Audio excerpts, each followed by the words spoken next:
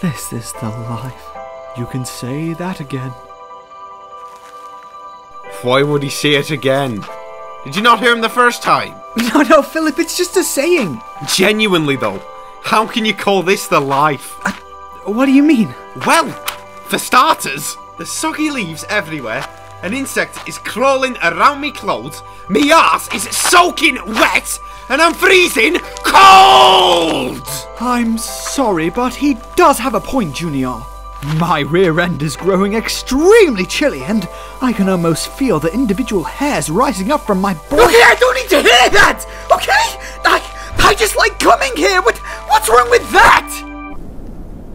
Uh, let's see. It's just a tad too late in the year, isn't it? Yeah, it's usually summer when I do it. Hi, Aunt. It's winter now, isn't it? It's probably gonna snow tomorrow. Good lord, Link, why do you have to be so negative? Oh, I'm not negative. Look, he's talking. Look at the clouds, lads. What shapes can you see? A middle goddamn finger.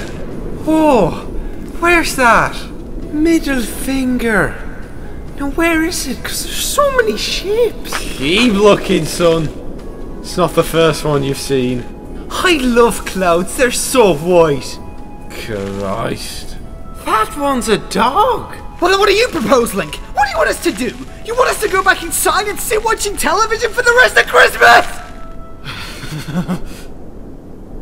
Well, yeah. Yeah, let's go. Yeah, let's go. All right. right.